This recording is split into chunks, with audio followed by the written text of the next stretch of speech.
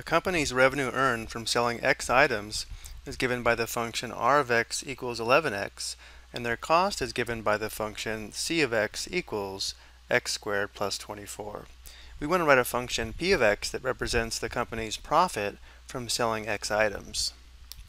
The profit function p of x equals the revenue function r of x minus the cost function c of x. So in our case, we would have p of x equals our revenue function, which equals 11x, minus the cost function, which is equal to the quantity x squared plus 24.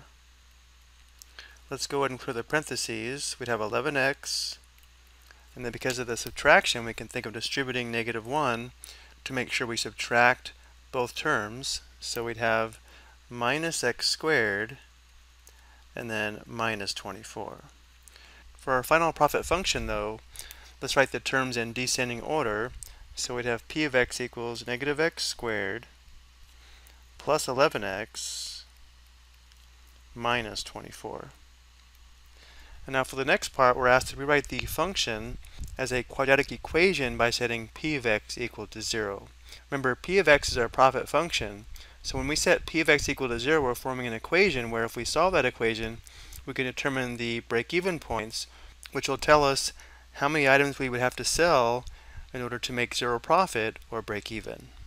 So if we set p of x equal to 0, our equation would be 0 equals negative x squared plus 11x minus 24.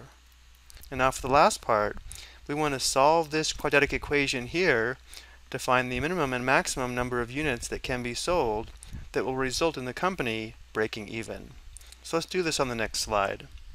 We want to solve the equation 0 equals negative x squared plus 11x minus 24. And we're going to solve this by factoring. And whenever factoring, we do want the leading coefficient to be positive. So we can either multiply both sides of the equation by negative 1 or factor out negative 1. Or if we want, just factor out negative. Let's factor out our negative 1 which is going to change the sign of each term. We'd have positive x squared minus 11x plus 24. Notice how we distribute negative 1, we have the same signs we had above. So now if this is going to factor, the trinomial will factor into two binomial factors, where because the term here is x squared, we'd have a factor of x and a factor of x. Now we want to find the factors of positive 24 that add to negative 11.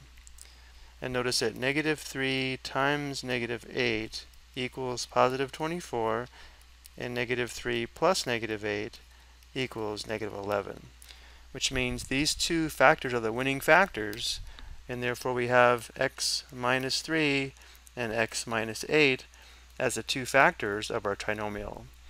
And now this product equals 0 when x minus 3 equals 0 or when x minus 8 equals 0.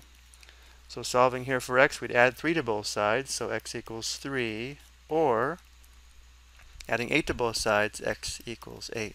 So these are the number of items the company would sell and make zero profit, which isn't a good thing. They do want to make a positive profit, but for this question, this tells us that the company must sell at least 3 units to break even, and the company can sell at most 8 units and still break even. So hopefully the company will sell somewhere between 3 and 8 units so they can make some profit. I hope you found this helpful.